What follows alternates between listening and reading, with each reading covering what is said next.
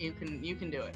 You know, no matter what trials or obstacles you have, it is possible. Um, I think that if you have children, trying to find someone, and that can be the hard the hard part too. You know, me, I was lucky enough. I have a wonderful supporting husband.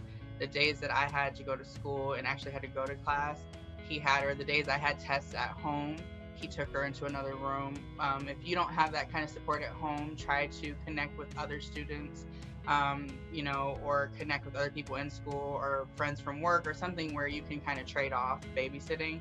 Um, I've done that in the past. You know, I'll watch the kids this day while you go to school. If you watch the kids this day while I'll go to school, but just no matter what, don't not do it because you have an obstacle. Because there's an, an answer, a solution to every problem.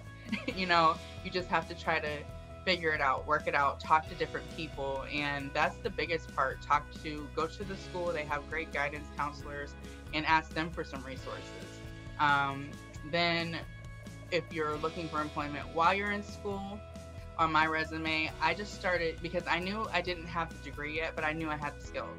So I started listing the classes that I took, you know, relevant to a position I was um, applying for. I'd say, you know, I graduate in this year, this month, and relevant courses are, and I listed the courses that I took already, and I listed my GPA on my resume.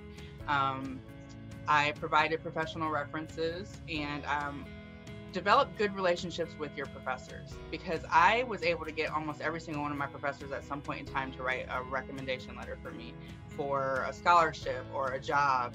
And I think that if you work hard, your professors are willing to do that. So if you're going to go, you have to go with the intention of I'm really serious about this and I'm going to try my best to make this happen, not just for something to do, you know, because it's going to cost you money and it's going to cost you time.